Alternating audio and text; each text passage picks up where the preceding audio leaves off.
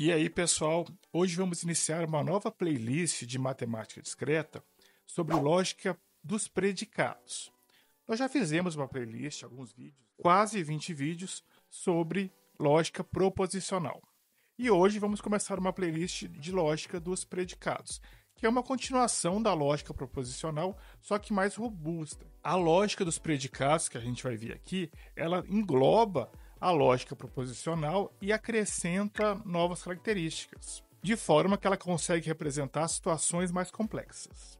Se você ainda não viu a nossa playlist sobre lógica proposicional, clique no link que eu vou deixar aqui em cima e que está na descrição desse vídeo para revisar os conceitos ou então para aprender né, sobre lógica proposicional. Mas no vídeo de hoje a gente vai falar sobre lógica dos predicados.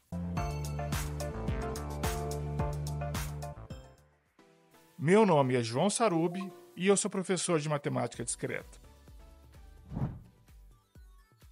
A lógica proposicional ela é muito poderosa, só que ela não consegue representar situações mais complexas. Por exemplo, todos passaram na prova, existe um aluno da sala que usa óculos, todos os números primos maiores do que 2 são ímpares, e assim sucessivamente. E é isso que a lógica dos predicados vai conseguir representar para a gente. Mas, mas para a gente entender a lógica dos predicados, a gente tem que entender um conceito chamado conjunto universo, ou universo. O conjunto universo vai dizer qual que é o escopo do nosso problema, qual que é o escopo da nossa questão. Por exemplo, se eu falo que todo mundo usa óculos, é diferente de eu falar todo mundo da minha sala usa óculos ou todo mundo da minha família usa óculos. Porque no primeiro caso, todo mundo usa óculos, o escopo é o mundo inteiro. Quando eu falo todo mundo da minha sala usa óculos, o escopo é só as pessoas da minha sala. Quando eu falo todo mundo da minha família usa óculos, o escopo, o universo, a gente chama até de universo do discurso, é a minha família. Então, sempre que eu tiver uma questão envolvendo lógica dos predicados, eu tenho que saber qual que é o meu conjunto universo. E eu preciso definir antes. Uma coisa que tem que ficar clara é o seguinte: todas aquelas conjunções, disjunções, aquelas equivalências lógicas como de condicional, ou aquelas inferências lógicas como modus ponens, modus tollens, tudo que a gente já viu nos vídeos passados, eles valem aqui para a lógica dos predicados. Só que a lógica dos predicados tem conceitos que extrapolam a lógica proposicional. E os principais são os quantificadores. Existem dois ou três principais quantificadores. Aí vai depender do livro, tá? Tem livros que usam dois, tem livros que usam três. E eu vou falar os três para ficar bem completo.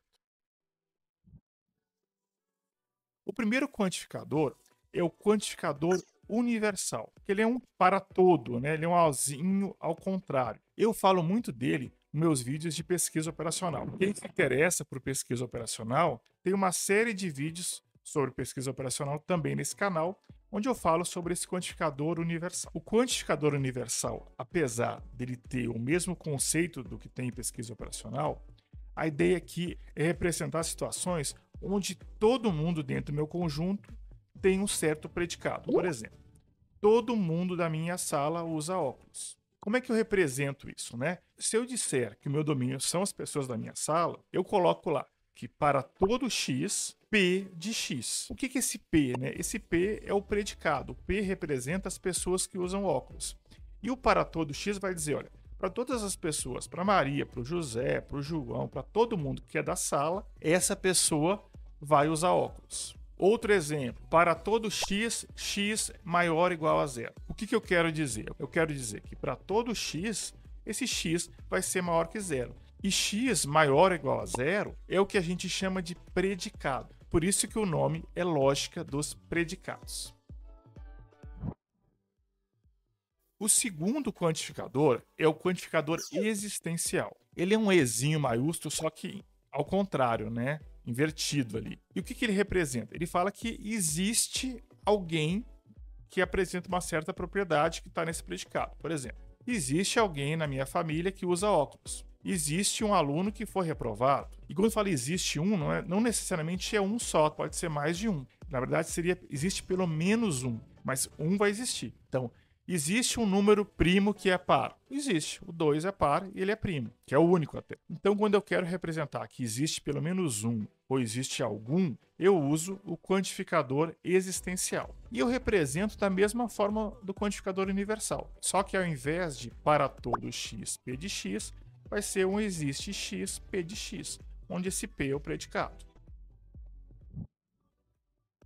E ainda existem alguns livros, não são todos os livros que colocam esse quantificador, que é o quantificador de unicidade. Ele é o mesmo que existe, só que o existe depois um ponto de exclamação. O que, que ele quer dizer? Ele quer dizer que existe somente um, não existe mais do que um.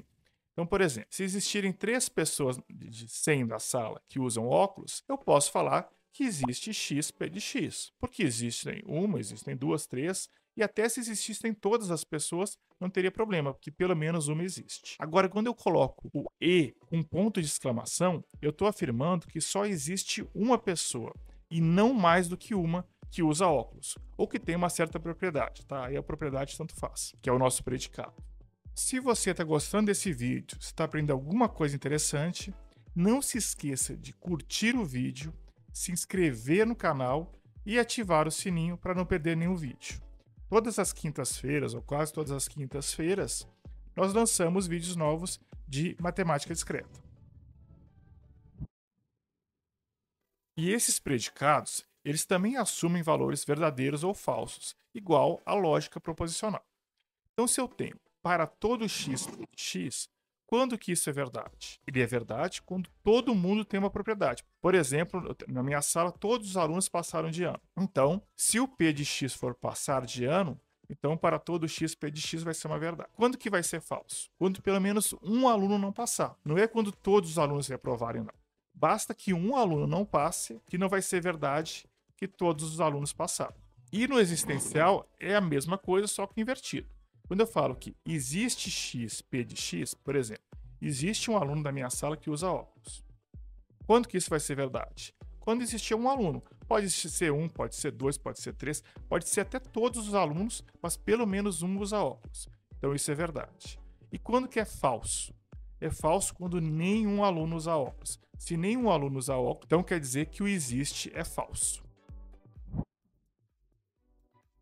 Agora vamos fazer uns exercícios de tradução. O que, que a gente vai fazer? A gente vai pegar umas frases em português e transformar para lógica, e depois a gente vai pegar umas frases em lógica, em matemática, né, e transformar para o português. Então vamos lá. Se eu tiver a frase todo papagaio é feio, como é que eu represento essa frase, essa sentença, na matemática, na lógica dos predicados? Primeiro eu tenho que colocar os predicados.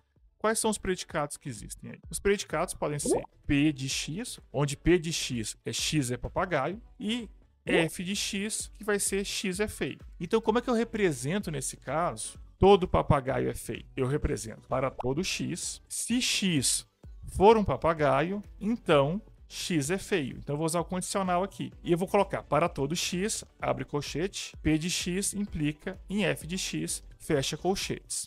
Então o que eu estou dizendo ali? Para qualquer coisa, para qualquer pessoa, para tudo no mundo, se essa coisa for um papagaio, que tem um se, né? Observe que tem um condicional, então é o se. Se essa coisa for um papagaio, então essa coisa é feia. E como é que eu represento? Existe um papagaio que é feio. Aí eu não estou falando que todos os papagaios são feios, não. Estou dizendo que existe um que é feio. Pelo menos um é feio. Aí nesse caso, os meus predicados vão ser os mesmos. P de x é x ser papagaio e f de x é x ser feio. Só que ao invés de usar o quantificador universal, eu vou usar o quantificador existencial. E vou dizer o seguinte: ó, existe x, que x é papagaio e, vou usar o símbolozinho do e, a conjunção, x é feio. Quer dizer, existe alguma coisa que essa coisa é um papagaio e também é feia. Não estou falando que todo mundo é feio, não estou falando que todo papagaio é feio, mas existe um papagaio lá que é feio. Observe nessa questão que se eu fizesse para todo x, p de x implique em f de x, eu estaria dizendo o seguinte, olha, existe alguma coisa que se essa coisa for um papagaio, ela vai ser feia. E não é exatamente isso que eu pedi para traduzir. Eu pedi para traduzir que existe um papagaio que é feio. Não que existe alguma coisa que se essa coisa for um papagaio, essa coisa é feia. É diferente. Vamos fazer outra questão. Imagina que eu tenho a seguinte afirmação: todo estudante dessa classe estudou cálculo e o meu domínio foram os alunos dessa classe. Como é que eu represento isso? A primeira coisa que eu tenho que fazer é colocar os predicados. Qual que é o predicado nesse caso? É C de X, quer dizer que X estudou cálculo.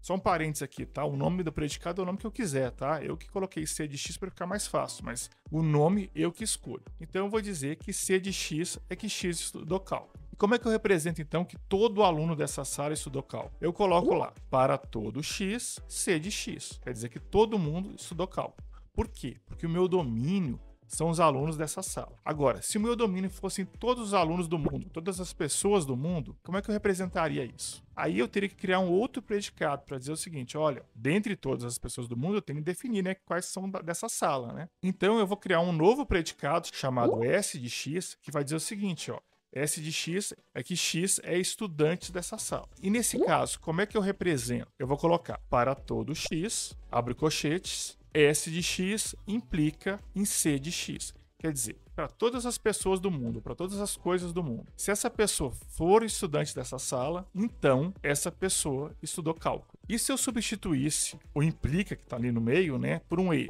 E fosse para todo x, S de x e C de x. Aí o sentido seria diferente. O que eu estaria dizendo? Que todas as pessoas do mundo são dessa sala e estudam cálculo provavelmente é falso, né? Porque nem todo mundo é da, é da mesma sala e nem todo mundo estudou cálculo, né? Agora vamos fazer uma questão de tradução. Imagine que eu tenho quatro predicados.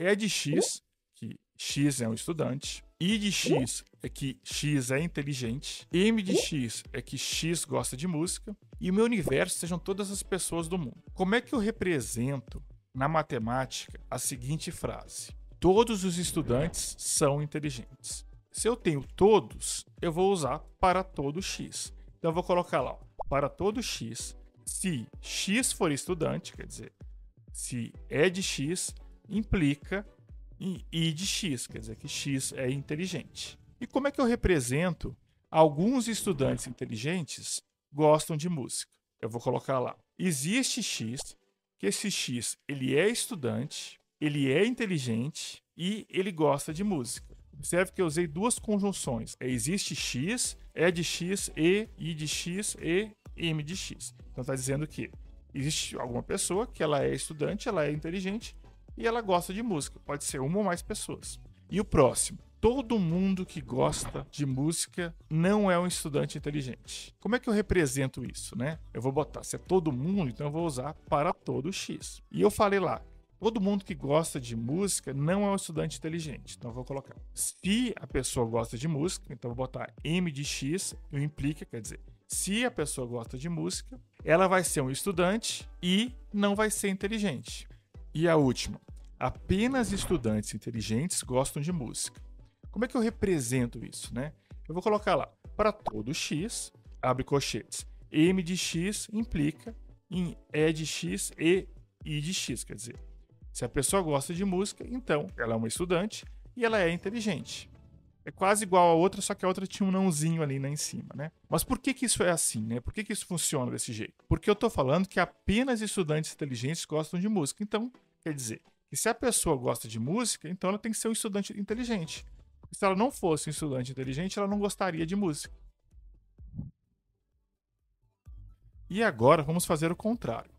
Vamos pegar algumas expressões da lógica e transformar para o português. Imagine que eu tenho as seguintes proposições: C de x, x é um comediante, e f de x, X é divertido. Esse F é de fã, do inglês, né? Divertido. E o meu domínio são todas as pessoas. Eu tenho que sempre definir o meu domínio. Então, como é que eu traduzo para todo X, C de X implica em F de X? Lembrando, C de X é ser comediante, né? E F de X é ser divertido. Então, se eu tenho para todo X, se C de X, então F de X, eu estou querendo dizer que todos os comediantes são divertidos. Quer dizer, se existe uma pessoa e essa pessoa for comediante, então essa pessoa é divertida. De outra forma, todos os comediantes são divertidos. E o próximo, para todo x, c de x e conjunção f de x. O que quer dizer isso? Como é que eu traduzo isso né, para o português? Isso significa que, para todas as pessoas, essas pessoas são comediantes e são divertidas. Eu estou dizendo que todas as pessoas do mundo, elas são comediantes e são divertidas. Não estou falando que isso é verdade,